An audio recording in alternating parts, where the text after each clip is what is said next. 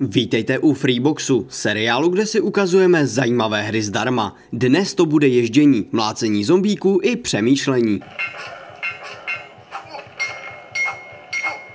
Váš Windows Phone přepadla armáda zombíků. Tentokrát je to ale jiné, protože jste ve středověku a hordě nemrtváků se nemůžete postavit s kulometem, ale budete si muset vystačit s mečem.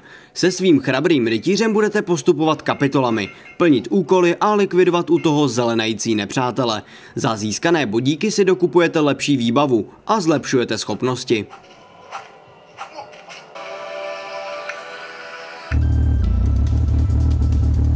Pocket Trucks vás vezme do doby, kdy jste si jako malí hráli s modely aut a stavili si vlastní tratě.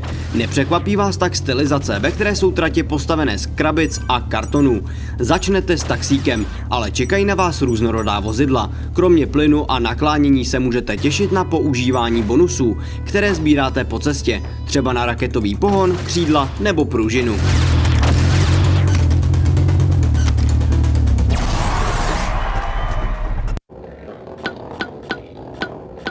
Tato hra vám jistě připomene Unblock Me, který jsme si tu taktéž ukazovali. Zde se však snažíte postavit co nejkratší trať pro kuličku, která se potřebuje dostat ze startovní plošinky do té cílové.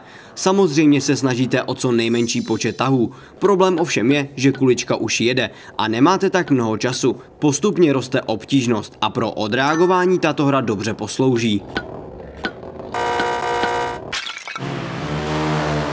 Druhý díl Mad Skills Motocross vás posadí jako profesionálního jezdce na krosovou motorku.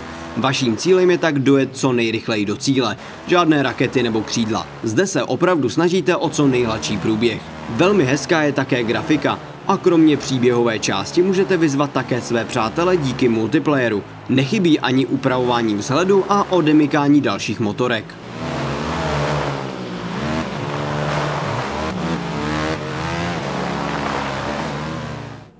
Prej je teď v módě, že slavní moderátoři a redaktoři odcházejí.